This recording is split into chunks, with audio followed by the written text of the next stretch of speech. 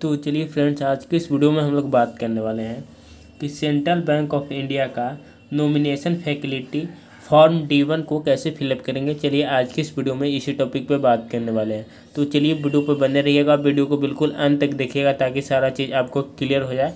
और आप भी इस वीडियो को देखने के बाद आपको कोई भी दिक्कत ना हो पाए तो चलिए वीडियो को स्टार्ट करते हैं। तो यहाँ पे सबसे पहले आप अपना नेम लिख दीजिएगा, जो भी आपका नेम होगा, अकाउंट होल्डर का नेम दे दीजिएगा। इसके बाद यहाँ पे थोड़ा सा एड्रेस दे दीजिएगा, जो भी विलेज होगा पोस्ट ऑफ़िस होगा, यहाँ पे एड्रेस दे दीजिएगा। जैसे ही आप यहाँ पे एड्रेस दीजिएगा, एड्रेस देने के बाद इस वाले, इसके बाद यहाँ पे नीचे यहाँ पे आपको ब्रांच नेम दे देना है, जहाँ पे आपका ब्रांच होगा, उस ब्रांच का नेम दे देना है। इसके बाद यहाँ पे नेचर ऑफ़ डिपोजिट डिपॉजिट, यहाँ पे आपका जो है जो है अकाउंट किस टाइप का है? सेविंग है करेंट है ओडी है तो जिस अनुसार होगा, आप अपने पासबुक से देख के यहाँ पे लिख लीजिएगा। इसके बाद अकाउंट नंबर को दे देना है, जो भी आपका बारह या सोलह डिजिट का अकाउंट नंबर होगा, उस अकाउंट नंबर को यहाँ पे फिल कर देना है।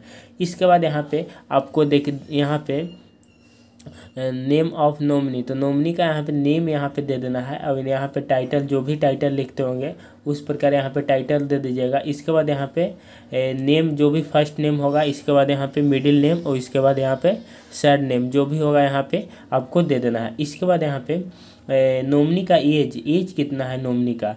तो जो भी एज होगा यहाँ पे एज नोमनी का दे देना है इसके बाद यहाँ पे रिलेशनशिप ऑफ़ डिपोजिटर तो यहाँ पे आपका जो है नोमनी के साथ किस प्रकार यहाँ पे रिलेशन है ब्रदर हैं सन है डाउटर हैं जो भी हैं यहाँ पे रिलेशनशिप यहाँ पे दर्शा देना है दे देना है लिख देना है इसके बाद यहाँ पे नोमनी का यहाँ पे एड्रेस जो भी नोमनी का एड्रेस होगा यहाँ पे एड्रेस नोमनी का दे दीजिएगा इसके बाद यहाँ पे नीचे वाले कॉलम में टेलीफोन नंबर जो भी होगा फ़ोन नंबर यहाँ पे दे देना है, इसके बाद यहाँ पे मोबाइल नंबर जो भी होगा, यहाँ पे मोबाइल नंबर को दे दीजिएगा।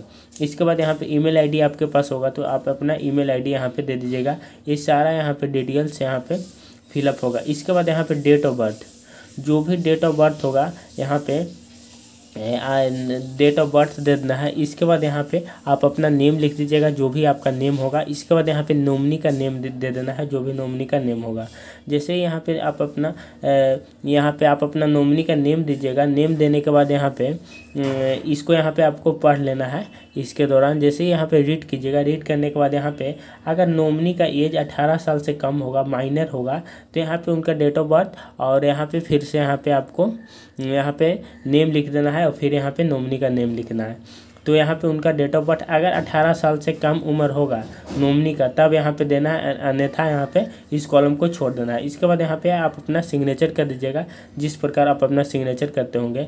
इसके बाद यहाँ पे अगर अंगूठा छाप अगर आप अंगूठा देते होंगे तो इस बिटनेस बिटनेस के लिए यहाँ पे दो साच यहाँ पे आपको ज़रूरी है। यहाँ पे बिटनेस के लिए दो साच यहाँ पे ज़रूरी है। मतलब दो का यहाँ पे किसी व्यक्ति का यहाँ पे नेम और उनका सिग्नेचर होना चाहिए एड्रेस और सिग्नेचर इसके बाद यहाँ पे किसी व्यक्ति का नेम, उनका एड्रेस और सिग्नेचर होना चाहिए। तो इस प्रकार आप बिल्कुल आसानी से इस फॉर्म को फिलअप कर दीजिएगा।